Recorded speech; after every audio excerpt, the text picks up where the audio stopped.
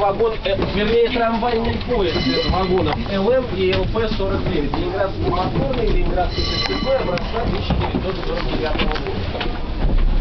Разница, как видите, на лицо. Если учесть то, что здесь мягкие сиденья, да, и вот такие же, как в аквариуме, пардон, в стиляге окна, то это лишь веяние эпохи. Как с появлением ЛМ-57, ЛМ-49 э, салоны их делали в подобии ЛМ-57, то есть ставили вот эти мягкие пружинные диваны или поролоновые, как в данном случае, да, и ставили такие же форточки, вот как в ЛМ-57. Если посмотрите, увидите.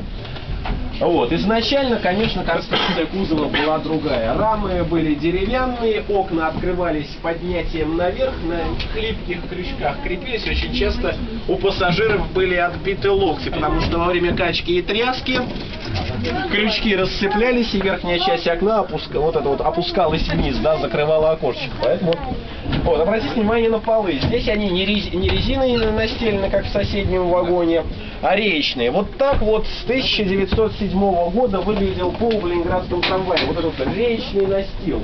С одной стороны, очень удобно, сколько у нас мякоть, э, заходит в трамвай, а вся влага, она оставляется между речками. Но с другой стороны, представьте себе ленинградскую модницу на шпильках, вот, которая входила в этот трамвай, и как минимум э, подковку от каблучка она могла оставить. Но это все лирика.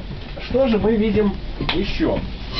К сожалению, в ЛМ-57 не так удачно расположена кабина, чтобы в нее заглянуть. Здесь все гораздо проще. Посмотрите, вот сквозь это окно, слева от водителя стоит контроллер. С помощью этого устройства вагон приводится в движение. Тормозится же вагон краном машиниста. Здесь он расположен э, перед самым водителем. Обратите внимание на него при выходе из вагона.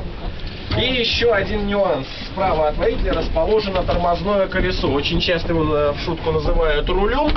На самом деле это не что иное, как стояночный тормоз.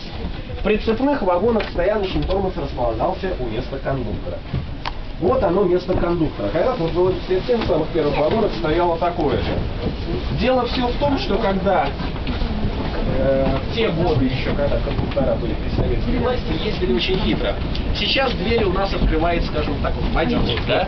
То есть он может кого-то не увидеть в зеркало, прищемить, и скандал неизбежен.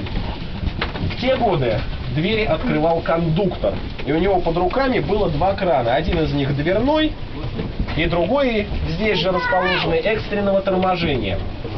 А вот теперь, сударь, можно попросить вас о помощи? Встаньте на рабочее место кондуктора и попытайтесь увидеть заднюю дверь через головы пассажиров. Согласитесь, практически ничего не видно, да? Вот, то есть